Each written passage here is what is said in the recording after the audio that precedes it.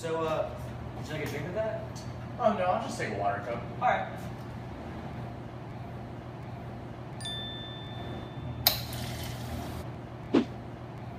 We got a code red. Bruh.